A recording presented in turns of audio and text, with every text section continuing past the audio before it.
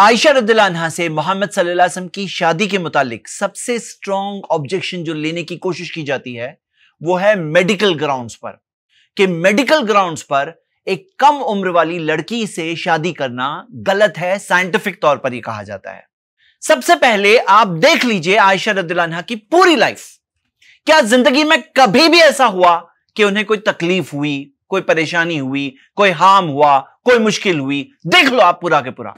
जब आप देखते हो तो आपको मिलेगा कि वो हेल्दी थी हैप्पी थी, खुश थी, और कोई तरह की तकलीफ़ या नुकसान उन्हें नहीं हुआ। तो ये कायदे के हिसाब से, ये रूल के हिसाब से तो इस मैरिज में कोई गलती नहीं थी। हाँ अगर ऐसा हुआ होता, कोई उन्हें नुकसान हो गया होता, कोई तकलीफ़ हो गई होती, किसी तरह से हार्म हो गया होता तो फिर बात अपनी जगह पे होती। तो ये हो गया point number one point number दो मैं आप लोगों को पहले भी बता चुका हूँ, बार बार बता चुका हूँ कि हमारा ये फॉर्मूला है कि सिर्फ़ प्यूबर्टी नहीं सिर्फ़ बालिग होना नहीं फ़िज़िकल कैपेसिटी भी।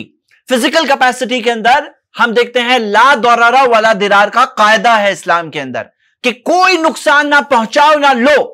और नुकसान के ताल्लुक से कायदा उलमा इक्राम ने बताया अंतुति कल जिमा कि वो जिमा यानी कि सेक्सुअल रिलेशंस कर सके, उसके अंदर उतनी कैपेसिटी होनी चाहिए। ज़ाहिर सी बात है, अगर सेक्सुअल रिलेशंस की बात होती है तो प्रेगनेंसी की भी उसके अंदर कैपेसिटी होनी चाहिए। वो तो अंडरस्टूड बात है ना।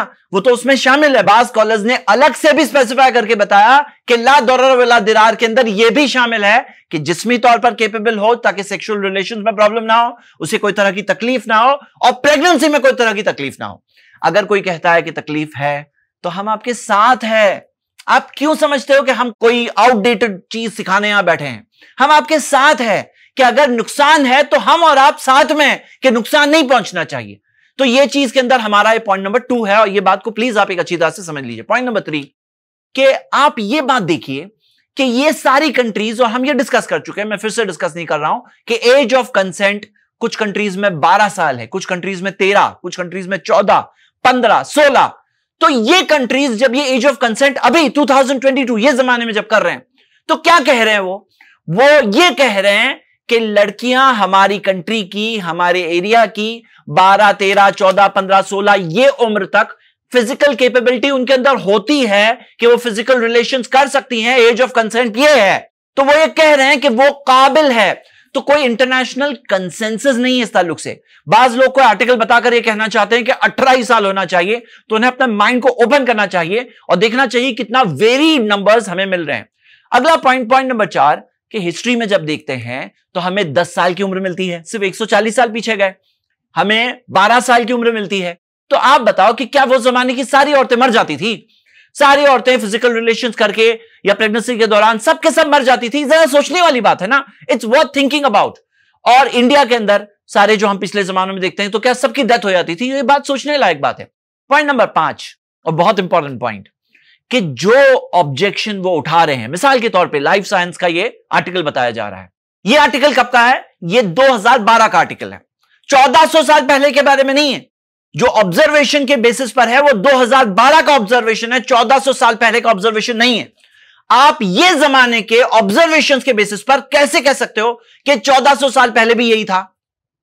कैसे कह सकते हो? आप जरा सोचिए। नेक्स्ट पॉइंट पॉइंट नंबर छह। ह्यूमन बॉडीज चेंज हुई है। अगर आप देखोगे कि पिछले सौ सालों के अंदर ये रिपोर्ट दिखी लाइफ साइंस की रिपोर्ट है। जहाँ की रिपोर्ट वो बता रहे हैं लाइफ साइंस की ये भी रिपोर्ट दिखना चाहिए ना, कि पिछले सौ साल में ह्यूमन बॉडीज किस तरह से चेंज हुई है। लोग टॉलर हुए हैं फैटर हुए हैं ओल्डर हुए हैं। और हम देखते हैं किस तरह से ह्यूमन हाइट पिछले सौ साल के अंदर चार इंचेस हाइट बढ़ी है। तो ये बात समझना, और वो सिर्फ़ डाइट की बात नहीं है। और उसी तरह आप ये रिपोर्ट भी देखिए, ये वर्ल्ड हेल्थ ऑर्गेनाइजेशन की रिपोर्ट है। पिछले तीस साल में सी सेक्शन डिलीवरीज सिजेरियन जो डिलीवरीज है नौ परसेंट वर्ल्ड एवरेज से बढ़कर के इक्कीस परसेंट तक गई है। यहाँ तक आके कुछ कंट्रीज़ के अंदर डिलीवरीज का फोर्टी परसेंट डिलीवरी डिलीवरीज है।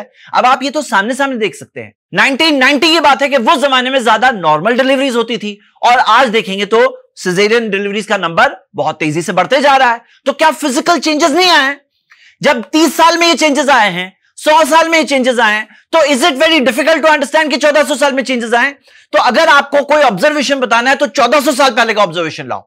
उसके बेसिस पे आप कह सकते हो। आप ये जमाने के ऑब्जर्वेशन के बेसिस पर 1400 साल पहले वालों को इमोरल बोलो, गालियाँ दो रेपस बोलो, आपको कोई हक नहीं बनता है।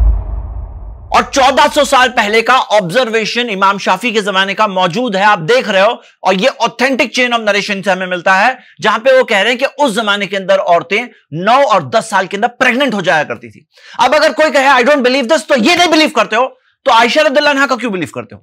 अगर आयशा रद्दुल्लाहा नाइन इयर्स में मैरिज हुई, ये बिलीव कर रहे हो ऑब्जेक्शन उठा रहे हो तो जैसे चेन ऑफ़ नरेशन से वो मिला, वैसे चेन ऑफ़ नरेशन से ये भी मिला। तो अगर आप इसे बिलीव नहीं करते हो तो नौ साल को भी बिलीव नहीं कर सकते। और नौ साल को बिलीव करते हो तो इसे भी बिलीव करना होगा।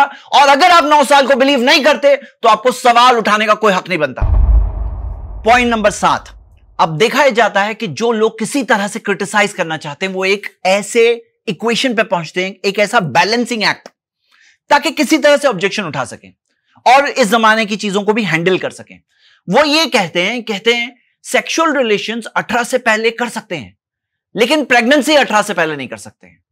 मतलब वो चाहते हैं कि अभी पूरा ऑब्जेक्शन सेक्सुअल रिलेशन से हटा करके प्रेगनेंसी पे आ जाए, और ये कम से कम इतना तो मान लिए, कम से कम एक स्टेप तो करीब आए। अब आइए सेकंड स्टेप बढ़ते हैं हम आगे। कि आप ये कह रहे हो कि सेक्सुअल रिलेशंस कर सकते हैं और प्रेगनेंसी नहीं कर सकते, इसका मतलब क्या है मालूम है आपको? ये होगा तो क्या होगा?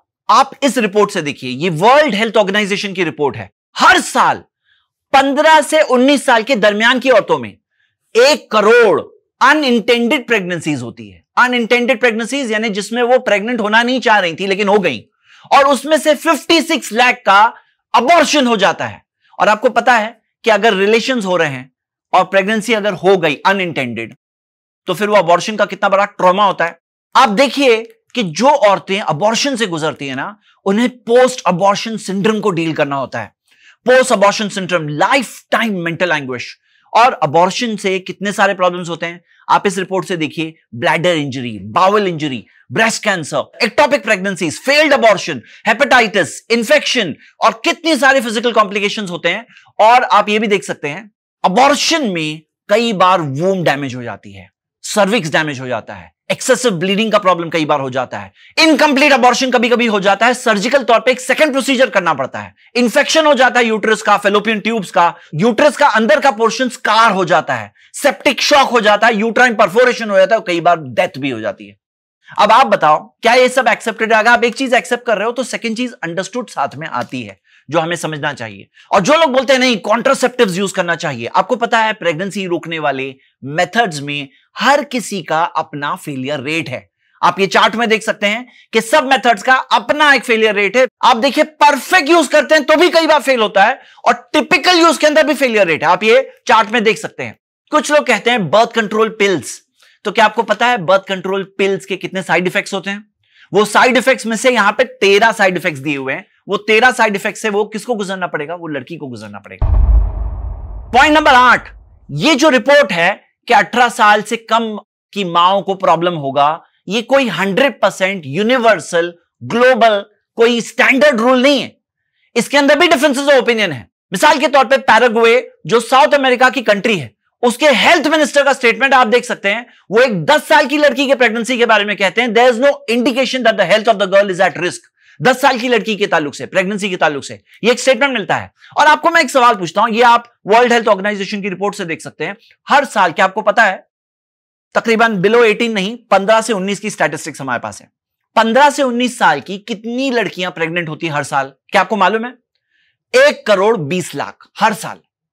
यानी कि ऐसा नहीं कि सब अठारह साल से ऊपर में ही, पंद्रह से उन्नीस के दरमियान में एक करोड़ बीस लाख। और क्या आपको पता है बिलो पंद्रह साल की कितनी लड़कियाँ ग्लोबली होती है? वर्ल्ड हेल्थ ऑर्गेनाइजेशन की रिपोर्ट है कि seven lakh seventy seven thousand मेरा सवाल क्या है? ये सबके सब क्या मर जाती हैं। ये सबके सब मर जाती हैं या ज़िंदा रहती हैं? कुछ आपको पता है इसकी रिपोर्ट और आप ये देखिए, ये जो अमेरिका की रिपोर्ट में आया है कि हर एक लाख लड़कियों में से 140 लड़कियाँ प्रेग्नेंट होती थी 1990 के अंदर, जो फिगर कॉन्ट्रासेप्टिव यूज़ से 20 तक आया 2020 तक। तो मेरा सवाल क्या है? ये सारी की सारी लड़कियाँ क्या मर जाती है? इसमें आपको मैं एक बात बताना चाहता हूँ। देखिए बड़ी ऑब्जेक्टिवली ऐसी रिपोर्ट्स है कि जिसके अंदर माइनर गर्ल्स के अंदर डेथ्स हुई है और हम डिनाई नहीं करते हैं। और मैं आपको बताऊँ, इसके अंदर दो फैलिसीज है जो आपको ध्यान देना चाहिए।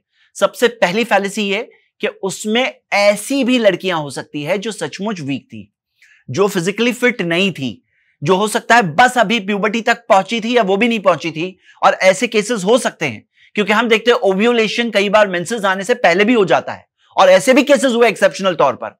तो ऐसे केसेस में हम आपके साथ है। Why you trying to put us as villains मतलब सही बात क्या, हम भी आपके साथ है। वी केयर फॉर वुमेन हम खुद केयर करते हैं। इस्लाम ने हमें सिखाया फोर्टीन हंड्रेड ईयर्स पहले से सिखाया।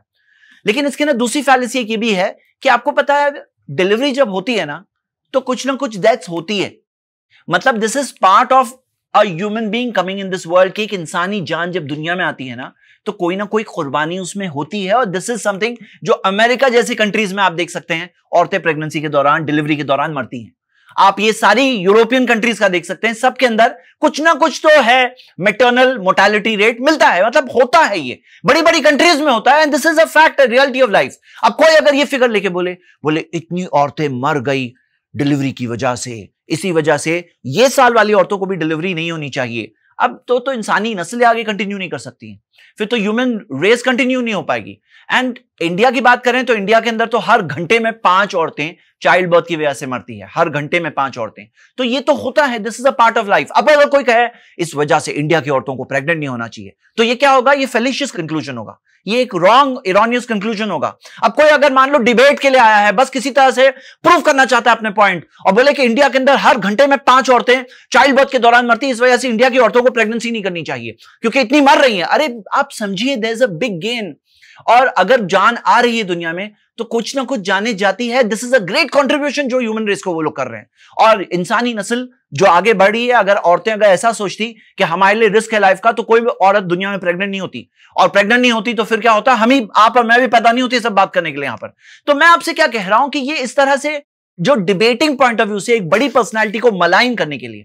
प्रॉफिट मोहम्मद सल्लल्लाहु जैसी एक बड़ी पर्सनालिटी जिन्होंने औरतों को राइट्स दिए, जिन्होंने औरतों का केयर सिखाया, वो जमाने में केयर सिखाया जब कोई केयर नहीं करता था। ज़िंदा बच्चियों को दफन कर दिया जाता था। उन्होंने उस जमाने में केयर सिखाया, औरतों को राइट्स दिए और वो पर्सनैलिटी को आज मलाइन करने, बदनाम करने के लिए लोग सूडो साइंटिफिक रिसर्च ला करके चौदह साल पहले कमेंट कर रहे हैं कि वहाँ ये करना गलत था।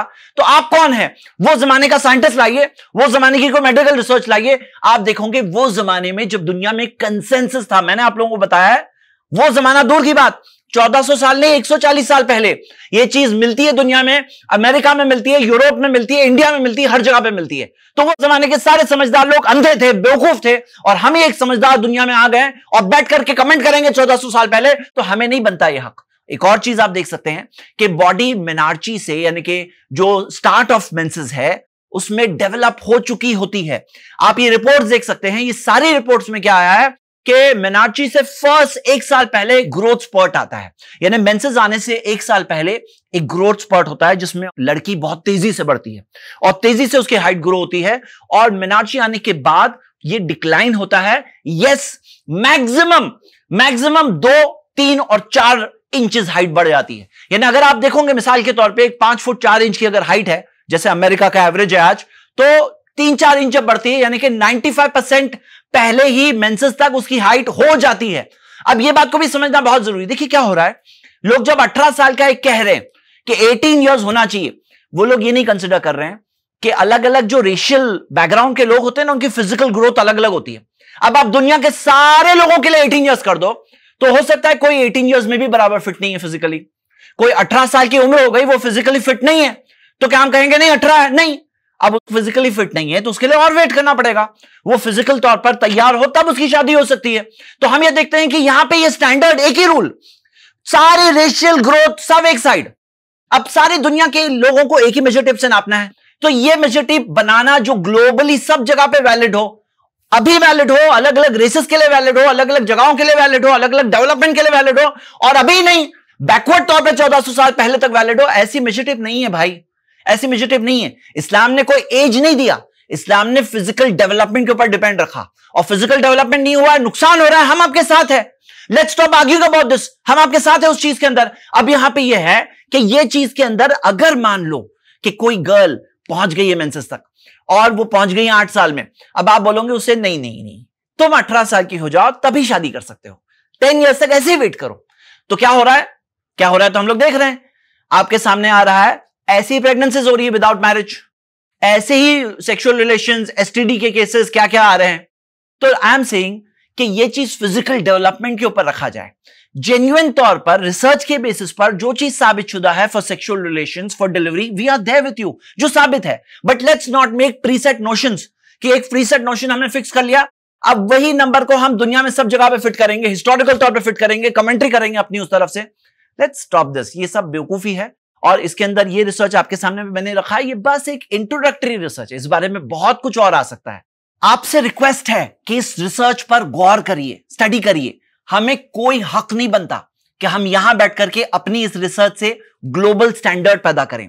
सारे हिस्टोरिकल लोगों पर, आपकी दादी नानी, आपके सारे पूर्वजों पर, सारे इंसानों पर, दूसरे मज़हब के लोगों पर और प्रॉफिट मोहम्मद पर भी हम यहाँ बैठ करके उंगली उठाए हमें कोई हक नहीं बनता कि ऐसी रिसर्च के बेसिस पर हम इस टाइप की ज्यादती करें। ये जुल्म है, ये नाइंसाफी है, इस चीज़ को हमें रोकना चाहिए और better sense should prevail better understanding should prevail एक सवाल लोग ये आज उठा रहे हैं, एक थियोरी बना रहे हैं। थियोरी उनकी ये है कि पिछले कुछ सालों से देखा जा रहा है कि मेंसेस की जो एज है मेंस्ट्रुअल जो एज है, वो कम होती जा रही है। तो वो उससे थ्योरी बनाकर कहते हैं 1400 साल पहले इससे साबित होता है कि 1400 साल पहले ज़्यादा, बहुत ज़्यादा रही होगी। पहले तो हम ये कह रहे हैं, ये थियोरी बिल्कुल बेवकूफ़ी है, क्योंकि जो लोगों ने बताया है कि उम्र मेंसेस की कम हो रही है, वो उसके रीजंस भी बता रहे हैं कि इंडस्ट्रियल रेवोल्यूशन के बाद, जब लेथार्जिक एज कम उसमें एक्टिविटी और ये सारे रीजंस आ रहे हैं तो उसकी वजह से मेंस्ट्रुअल एज कम हुई है, वो रीजंस भी बता रहे हैं। और आप अगर देखना चाहते हैं तो साइंस डायरेक्ट की ये रिपोर्ट देखिए। इस रिपोर्ट में आता है कि पैलियोलिथिक एज जो आज से दस हज़ार साल पहले खत्म हो गई, जब एग्रीकल्चर स्टार्ट हुआ, वो एज के अंदर औरतों की उम्र मेनार्ची यानी कि मेंसेस की शुरुआत सात साल से तेरह साल के दरमियान में होती थी। तो क्या ये कम थी, ज़्यादा थी? प्लस इस रिपोर्ट में वो लोग ये बता रहे हैं कि ट्रेड ऑफ़ की दलील मिलती है कि वो जमाने में जब लाइफ एक्सपेक्टेंसी कम थी तो इस वजह से उस जमाने के अंदर मेंसेस भी औरतों के अंदर जल्दी आ जाया करता था। ये एक टाइप का ट्रेड ऑफ़ था जो एक तरह से इंसानी अडॉप्शन के अंदर आप देख सकते हैं कि ये चीज़ वो कह रहे हैं। इससे ये बात तो साबित हो रही है कि इनकी ये थियोरी कि अभी जो मेंसेस की एज है, उससे ज़्यादा ज़्यादा ज़्यादा ज़्यादा ज़्यादा चौदह सौ साल पहले बहुत ज़्यादा मेंसेस की उम्र थी। इस वजह से आयशा रदिल्ला की नौ साल में मेंसेस नहीं आए थे उन्हें। कहाँ से, कितना दूर से कैसी थियोरीज बनाते हैं लोग। कोई चीज़ को साबित करने के लिए और सारी रियलिटीज को इग्नोर करते हैं। और मैं उम्मीद करता हूँ कि लोग ऐसी बेवकूफ़ थियोरीज बनाना छोड़कर ज़्यादा अपना ध्यान सच्चाई को देखकर उसे कबूल करने की तरफ़ लगाएँगे। सवाल यह है कि कोई छोटी बच्ची, उसका पेल्विक रीजन उतना ग्रो नहीं हुआ होता है, जिससे वो कैसे बर्दाश्त करेगी इंटरकॉस या चाइल्ड डिलीवरी तो हाँ, हम आपके साथ हैं। छोटी बच्ची की तो शादी होनी भी नहीं चाहिए। वो मेंसेस तक पहुँची हो फिजिकली केपेबल हो मेंटली केपेबल हो, तब जाके वो केपेबल फॉर मैरिज होती है। तो उसी से शादी हो सकती है। हम आपके साथ है इसमें। लेकिन अगर मान लीजिए, वो एक वुमन जितना ग्रो हो चुकी है, एक औरत जितना ग्रो हो चुकी है, और फिर हम कहें, नहीं नहीं, तुम्हारी उम्र इतनी नहीं हुई ना, अठारह, या अभी थोड़े दिनों में इक्कीस शायद हो जाएगी, आपकी उम्र इतनी नहीं हुई ना, इसलिए शादी नहीं कर सकते हैं। अगर हम ये कहें तो क्या ये रीजनेबल है या नहीं है? अगर उसकी हाइट अचीव हो गई है फिजिकली वो केपेबल है। आप सोचो कि कोई लड़की, एक वुमन जितनी उसकी साइज़ है, उसकी पेल्विक रीजन का बच्चे जितना होगा? जरा लॉजिकली सोचो। तो आप ये बात देखिए, अगर वो वुमन जितनी उसकी ग्रोथ है, और मैंने आपको बताया कि मेंसेस के टाइम तक ही नॉर्मली 95 परसेंट हाइट वो अचीव कर लेती है। और उसके बाद भी वो हमारी कंडीशन नहीं है। फ़िज़िकल कैपेबिलिटी भी बहुत ज़रूरी है। और कौन जज करेगा? फादर जज करेगा। आप देखिए अमेरिका के अंदर कई स्टेट्स में ये रूल है कि अगर कम उम्र वालों को शादी करना है तो वो कोर्ट से परमिशन लेंगे। कोर्ट से परमिशन लेंगे और कोर्ट परमिशन देगा उनको शादी करने की। इस तरह से दो लाख कम उम्र वालों ने शादी की। तो हम कहते हैं कि ये कोर्ट से तो ज़्यादा क्वालिफाइड फादर है, क्योंकि फादर जिसमें परवरिश की, जिसने उसे बचपन से बड़ा किया, उसे संभाला, वो बेटर जानता है कि वो बच्ची केपेबल है नहीं। है तो हम देखते हैं कि फादर की कंसेंट भी इन्वॉल्व है, लड़की की कंसेंट भी इन्वॉल्व है कि वो फिजिकली केपेबल है या नहीं है। उम्मीद करता हूँ इस सवाल का जवाब आप समझ गए।